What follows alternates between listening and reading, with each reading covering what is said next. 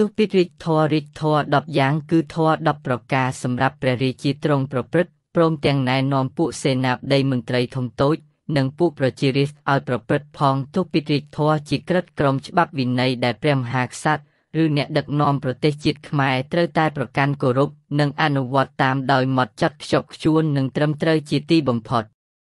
បើពុំនោះសោតទេប្រទេសជាតិប្រជានុរាស្ត្រនឹងជួបប្រទេសវិបត្តិអន្តរាយក្តៅក្រហាយរំជើបរំជួលចលាចលអសន្តិសុខសង្គមទុកសោកសង្រេងភ័យព្រួយព្រាត់ប្រាសក្រុមគ្រួសារញាតិសន្តានជាមិនខានឯព្រះមហាក្សត្រនឹងដឹកនាំកិច្ចផុតយករួចខ្លួនបានដែរដោយក្នុងន័យពាក្យពេចន៍បានបញ្ជាក់ស្រាប់ទោសពីរាជធរគឺច្បាប់ទាំង10ប្រការដែលចែងបញ្ញត្តិអំពីករណីកិច្ចរបស់ព្រះមហាក្សត្រនិងអ្នកដឹកនាំប្រទេសខ្មែរទោសពីរាជធរទាំង10មាន។ 1ទានព្រះមហាក្សត្រឬអ្នកដឹកនាំជាតិត្រូវតែធ្វើទានចែកអំណោយដល់ប្រជាជនគ្រប់មជ្ឈដ្ឋានដោយគ្មានគំនិតគិតកេងប្រវ័ញ្ចធ្វើប្រជាពិធដ្ឋឡើយគឺមានន័យថាទាននោះត្រូវមានភាពបរិសុទ្ធល្អប្រសើរគ្មានជាប់ជំពាក់ប្រឡាក់ប្រឡោសនិងបាបកម្មបើយើងពោលឲ្យចំទៅព្រះមហាក្សត្រ ឬអ្នកដឹកនាំត្រូវរៀបចំគ្រប់គ្រងគោលធ្វើដោយម្ដេចចេះចែកចាយផ្ដល់ប្រជាពលរដ្ឋនិងជាតិនៅលទ្ធភាពគ្រប់គ្រាន់ដើម្បីជំរុញឲ្យមានធនធានមានចំណេះវិជ្ជាអាចរស់នៅក្នុងសភាពថ្លៃថ្នូរពេញលេញជាមនុស្សម្នាមានកិត្តិយសរងរឿងថ្កុំថ្កើង2សិលព្រះមហាក្សត្រឬអ្នកដឹកនាំត្រូវតែប្រកាន់និងរក្សាឲ្យមានសិលធម៌ដកជាប់ក្នុងខ្លួនជានិច្ចសិលធម៌នេះ គឺបញ្ចសិលាឬសិល5និងព្រហ្មវិហារធម៌ចំពោះប្រជានុរាស្ត្រក្នុងបញ្ចសិលាគេក៏សម្គាល់ឃើញមានការមិនប្រមាថឬសម្លាប់ជីវិតមិនលួចប្លន់មិនលួចលាក់មានសហាយស្មន់មិនភូតភោកុសសប្រាស់និងមិនភ្លើតភ្លើនបណ្ដោយខ្លួនឲ្យលងលក់ទៅដោយគ្រឿងស្រវឹងចំណែកក្នុងព្រហ្មវិហារធម៌វិញ មានធម៌ទាំងអស់4គឺ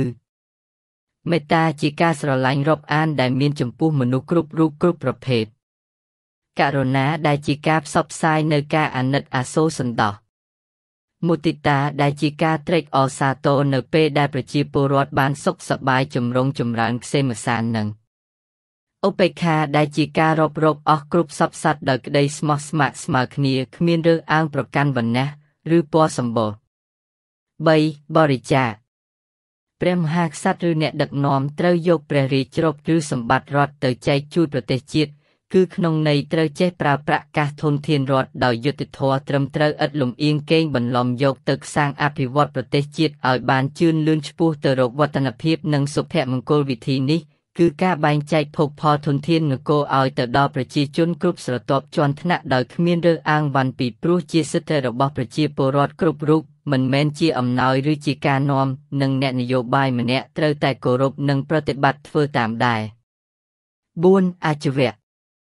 មានសេចក្តីត្រង់ការទៀងត្រង់មិនវិចវេដែលព្រះមហាក្សត្រនិងអ្នកដឹកនាំត្រូវតែគោរពនិងប្រកាន់ខ្ជាប់ខ្ជួនជាដាច់ខាតក្នុងពាក្យទៀងត្រង់អត្តន័យមានទំហំធេងណាស់គឺជាជំពាក់ទៅនឹងកាយវិចាចិត្តរបស់អ្នកដឹកនាំបើនិយាយឲ្យចំទៅគឺគេមិនត្រូវក្បត់ប្រជាជននិងប្រទេសជាតិឯងមិនប្រើអំណាចផ្ដាច់ការមិនអយុត្តិធម៌មិនបំរើផលប្រយោជន៍ផ្ទាល់ខ្លួនក្រុមគ្រួសារបាក់ពួកនិងបរទេស5មិត្តវគ្គ មានសេចក្តីទន់ភ្លន់ស្លូតសុភាពរៀបសារព្រះមហាក្សត្រឬអ្នកដឹកនាំជាតិត្រូវតែរៀបចំឬពីអាកប្បកិរិយាពាក្យសម្ដីចិត្តគំនិតឲ្យបានទន់ភ្លន់សុភាពរៀបសារល្អត្រឹមត្រូវថ្លៃថ្នូរយុត្តិធម៌ដោយមិនបញ្ចេញអាកាសឬពីច្រងៀងច្រងៀងច្រឡោងខាមច្រឡាស់បាសហាស្រែកឡើងរកតែកាប់ចាក់ប្រើកម្លាំងបាយជាមួយនឹងប្រជារាស្ត្រទុនខ្សោយព្រះមហាក្សត្រឬអ្នកដឹកនាំជាតិជាតំណាងប្រជាជាតិមួយទាំងមូលបើអ្នកតំណាងប្រជាជាតិទាំងនេះ មានកាយវាចាចិត្តមិនល្អសមរម្យនោះគឺប្រទេសជាតិនិងប្រជាជនទាំងអស់គ្នាដែលត្រូវបាត់បង់កិត្តិយសឬគេមើងងាយនឹងទទួលនៅផលវិបាករងគ្រោះថ្នាក់គ្រប់បែបយ៉ាង6តបៈ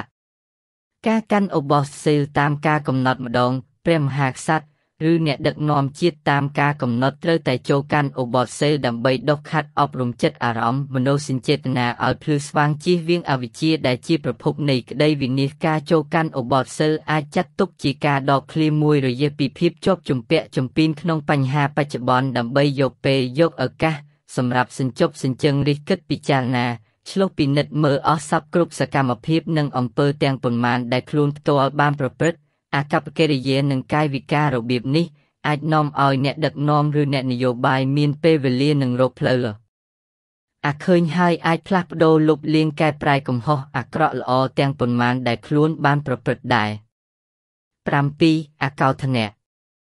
មិនក្តៅក្រហាយអ្នកដតីព្រះមហាក្សត្រឬអ្នកដឹកនាំជាតិមិនត្រូវដើរឆ្កេះឆ្កៀដុតរោលបំបែកបំបាក់អ្នកដតីឲ្យកើតមានកំហឹងដើម្បីគ្រប់គ្រងតាំងខ្លួនមានតែមួយគត់ប៉ុណ្ណោះទេ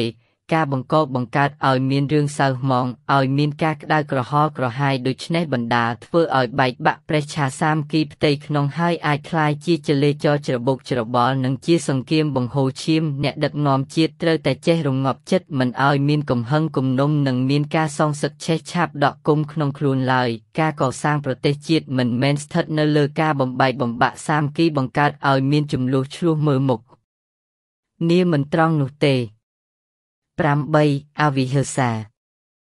មិនបៀតបៀនអ្នកដតីព្រះមហាក្សត្រឬអ្នកដឹកនាំជាតិមិនត្រូវយកហិង្សាកម្លាំងបាយនិងអាវុធមកធ្វើជាត្រីមុខទេក្នុងការត្រេះរិះពិចារណានិងដោះស្រាយបញ្ហាយុជីវិតប្រទេសជាតិបើយើងគ្មានគំនិតអាក្រក់មិនប្រើកម្លាំងអាវុធមិនព្រានគេគេក៏មិនបៀតបៀនមកលើយើងដែរគោលការណ៍ធំត្រូវស្ថិតនៅលើទូសន្ន សន្តិវិធីក្នុងការដោះស្រាយគ្រប់បញ្ហាសាងប្រទេសជាតិទស្សនៈសន្តិភាពត្រូវស្ថិតនៅជាមូលដ្ឋានជាគោលដៅធំចម្បងដែលព្រះមហាក្សត្រនិងអ្នកដឹកនាំជាតិត្រូវតែនាំគ្នាខំស្វែងទៅរកឈុងហក់ចាប់អោបក្រសោបយកមកឲ្យបានជាចាំបាច់ពីព្រោះប្រទេសជាតិនីមួយត្រូវការសន្តិភាពដើម្បីសាងដើរឆ្ពោះទៅរកអីដែលជាការអភិវឌ្ឍជាការរីកចម្រើនលូតលាស់និងជីវភាពរុងរឿងរស់នៅដោយសុខសន្តិភាពផ្សេងម្សាន។ 9ខណ្ឌីមានសេចក្តីអត់ធន់ព្រះមហាក្សត្រឬអ្នកដឹកនាំជាតិត្រូវតែមានចិត្តអំណត់អត់ធន់ហើយមិនលោតទៅតាមកម្លាំងខ្យល់